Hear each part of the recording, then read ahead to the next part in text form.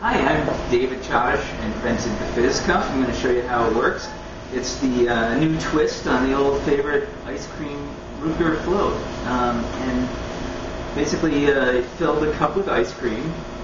Um, any kind works. I prefer vanilla. And uh, you take a straw, and it fits right into the inside here. And it basically it you push it in until it stays. It makes it easier for the soda to come up. And basically, screw it onto the uh, bottle. Make sure it's real tight so it doesn't go all over the place.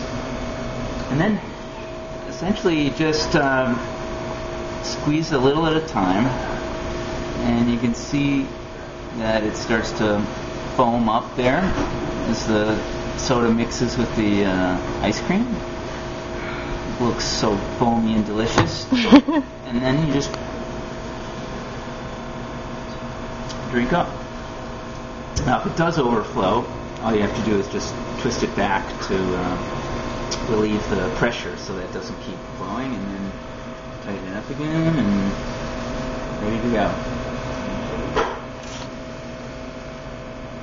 Yum.